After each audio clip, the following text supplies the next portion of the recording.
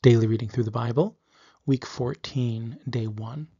Joshua chapters 14 through 17. Luke chapter 17.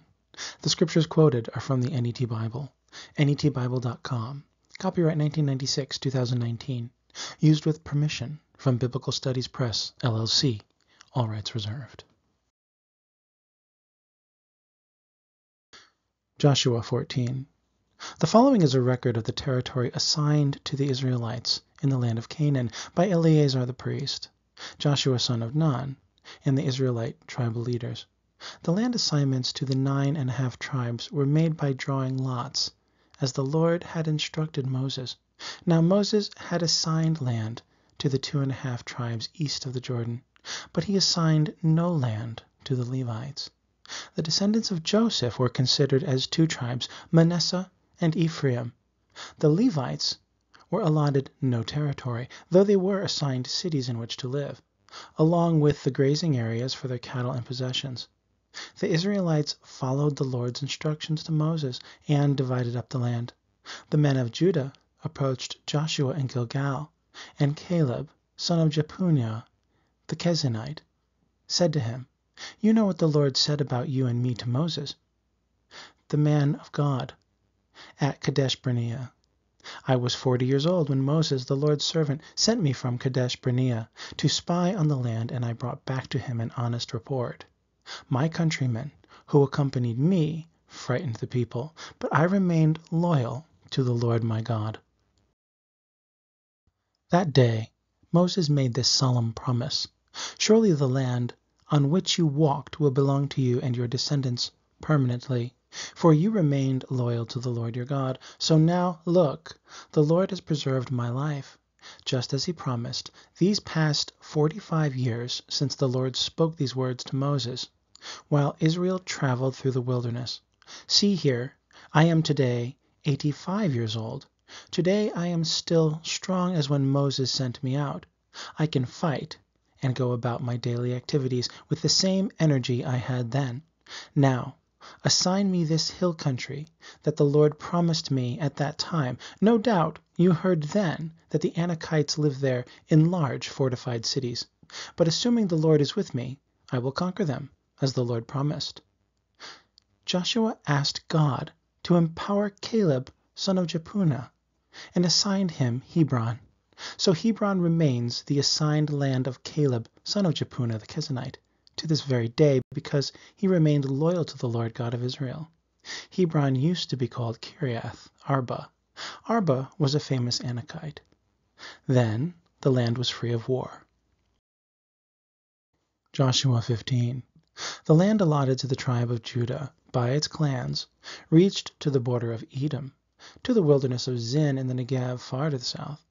Their southern border started at the southern tip of the Salt Sea extended south of the Scorpion Ascent, crossed to Zin, went up from the south to Kadesh Barnea, crossed to Hezron, went up to Adar, and turned toward Karka. It then crossed to Azmon, extended to the stream of Egypt, and ended at the Mediterranean Sea. This was their southern border. The eastern border was the Salt Sea to the mouth of the Jordan River. The northern border started north of the Salt Sea, at the mouth of the Jordan, went up to Beth Hoglah, crossed north of Beth Arabah, and went up to the stone of Bohan, son of Reuben. It then went up to Debir from the valley of Achor, turning northward to Gilgal, which is opposite the path of Adumimim, south of the valley, crossed to the waters of En Shemesh, and extended to En Rogel. It then went up the valley of Ben Hinnom to the slope of the Jebusites on the south, that is, Jerusalem, going up to the top of the hill opposite the valley of Ben Hinnom to the west, which is at the end of the valley of the Rephaites to the north.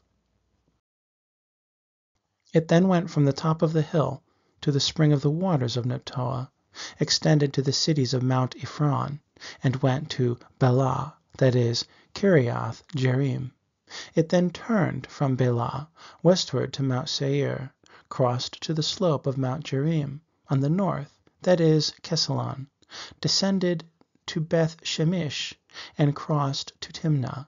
It then extended to the slope of Ekron to the north, went toward Shikaron, crossed to Mount Baalah, extended to Jabneel, and ended at the sea. The western border was the Mediterranean Sea. These were the borders of the tribe of Judah and its clans. Caleb, son of Jephunneh, was assigned Kiriath Arba, that is, Hebron, within the tribe of Judah, according to the Lord's instructions to Joshua. Arba was the father of Anak. Caleb drove out from there three Anakites, Sheshai, Ahiman, and Talmai, descendants of Anak. From there he attacked the people of Debir. Debir used to be called Kiriath Sepher. Caleb said, To the man who attacks and captures Kiriath Sepher, I will give my daughter Achsah as a wife. When Othniel, son of Kenaz, Caleb's brother, captured it, Caleb gave Achsah, his daughter, to him as a wife.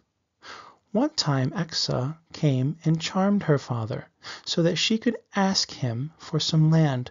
When she got down from her donkey, Caleb said to her, What would you like? She answered, Please give me a special present. Since you have given me land in the Negev, now give me springs of water. So he gave her both the upper and lower springs. This is the land assigned to the tribe of Judah by its clans. These cities were located at the southern extremity of Judah's tribal land, near the border of Edom: Kabzeel, Edir, Jagur, Kinah, Dimonah, Edada, Kadesh, Hazor, Ithnan, Zippah, Telem, Bealoth, Hazor Hadattah, Kerioth Hezron, that is, Hazor, Emam, Shema, Moladah. Hazar Gaddah, Heshbon, Beth Pelet, Hazar Shual, Beersheba, Biziothiah, Bala, Aim, Ezim, Eltolad, Kasil Hormah, Ziklag, Madmannah, Sansannah, Leboth, Im, Ain, and Rimmon, a total of 29 cities and their towns. These cities were in the foothills: Eshtaol, Zorah, Ashnah, Zanoah, En Gannim, Tappuah, Anam, Jarmuth, Adullam, Socoh, Azekah, Shaaraim, Edathaim, and Gederah, or Gederothaim, a total of fourteen cities and their towns.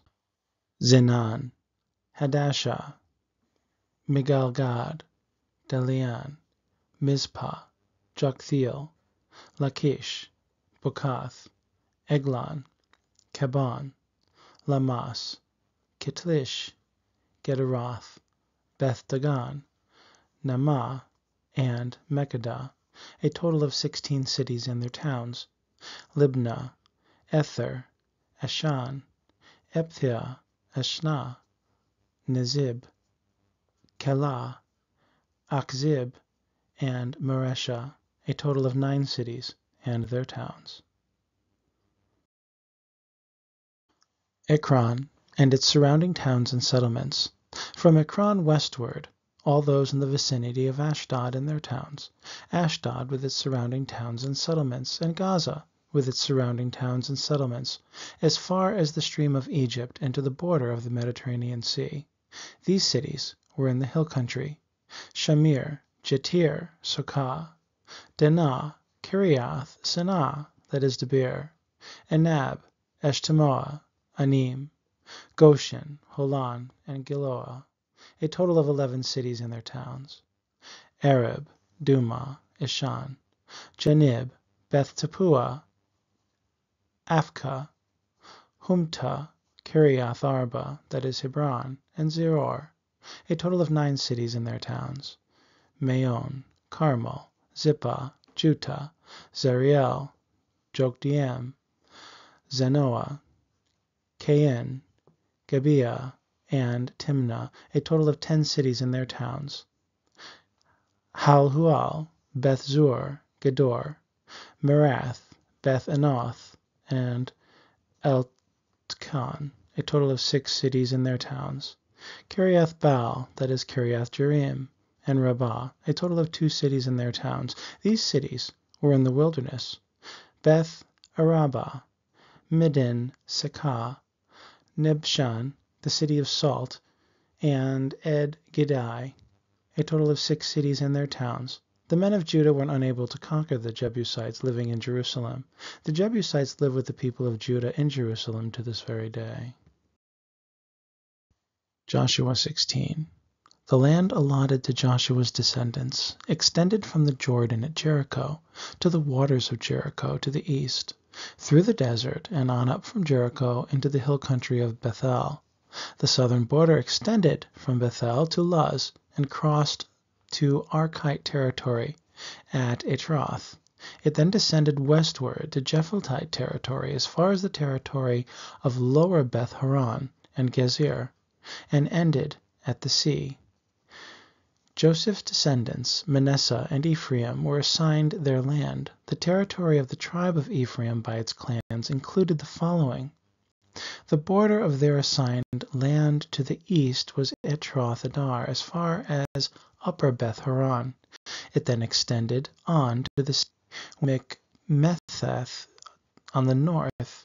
It turned eastward to Taanath Shiloh, and crossed it on the east to Janoah; It then descended from Janoah to Etroth and Nerah, touched Jericho, and extended to the Jordan River.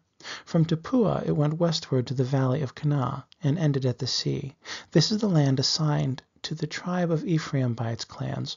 Also included were the cities set apart for the tribe of Ephraim, within Manasseh's territory along with their towns. The Ephraimites did not conquer the Canaanites living in Gezer. The Canaanites live among the Ephraimites to this very day, and do hard labor as their servants. Joshua 17 The tribe of Manasseh, Joseph's firstborn son, was also allotted land. The descendants of Machir, Manasseh's firstborn and the father of Gilead, received land, for they were warriors. They were assigned Gilead and Bashan.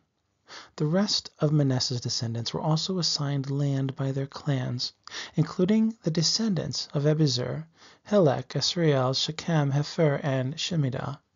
These are the male descendants of Manasseh, son of Joseph, by their clans. Now Zelophehad, son of Hepher, son of Gilead, son of Machir, son of Manasseh, had no sons, only daughters. These are the names of his daughters: Mahlah, Noah. Hoglah, Milcah, and Tirzah. They went before Eleazar the priest, Joshua son of Nun, and the leaders, and said, The Lord told Moses to assign us land among our relatives. So Joshua assigned them land among their uncles, as the Lord had commanded.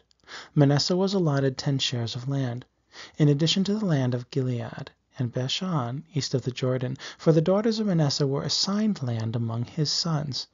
The land of Gilead belonged to the rest of the descendants of Manasseh. The border of Manasseh went from Asher to Mikmethath, which is near Shechem. It then went south toward those who live by En Tappuah. The land of Tappuah belonged to Manasseh, but Tappuah, located on the border of Manasseh, belonged to the tribe of Ephraim. The border then descended southward to the valley of Kanah. Ephraim was assigned cities there among the cities of Manasseh, but the border of Manasseh was north of the valley and ended at the sea. Ephraim's territory was to the south, and Manasseh's to the north. The sea was Manasseh's western border, and their territory touched Asher on the north and Issachar on the east. Within Issachar's and Asher's territories Manasseh was assigned Beth Shean, Ibleam the residence of Dor, the residence of Endor, the residence of Taanach, the residence of Megiddo, the three of Nepheth, and the towns surrounding all these cities. But the men of Manasseh were unable to conquer these cities. The Canaanites managed to remain in those areas. Whenever the Israelites were strong militarily, they forced the Canaanites to do hard labor, but they never totally conquered them. The descendants of Joseph said to Joshua, Why have you assigned us only one tribal allotment? After all, we have many people, for until now the Lord has enabled us to increase in number." Joshua replied to them, Since you have so many people, go up into the forest and clear out a place to live in the land of the Perizzites and Rephaites, if the hill country of Ephraim is too small for you. The descendants of Joseph said, The whole hill country is inadequate for us, and the Canaanites living down in the valley in Beth shean and its surrounding towns, and in the valley of Jezreel, have chariots with iron rimmed wheels. Joshua said to the family of Joseph, to both Ephraim and Manasseh, You have many people, and great military strength. You will not have just one tribal allotment. The whole hill country will be yours. Though it is a forest, you can clear it, and it will be entirely yours. You can conquer the Canaanites, though they have chariots with iron rimmed wheels and are strong. Luke 17 Jesus said to his disciples, Stumbling blocks are sure to come, but woe to the one through whom they come. It would be better for him to have a millstone tied around his neck and be thrown into the sea, than for him to cause one of these little ones to sin. Watch yourselves.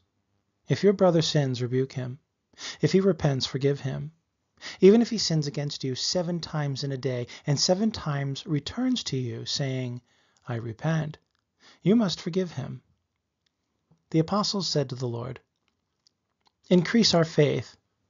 So the Lord replied, If you had faith the size of a mustard seed, you could say to this black mulberry tree, Be pulled out by the roots and planted in the sea, and it would obey you.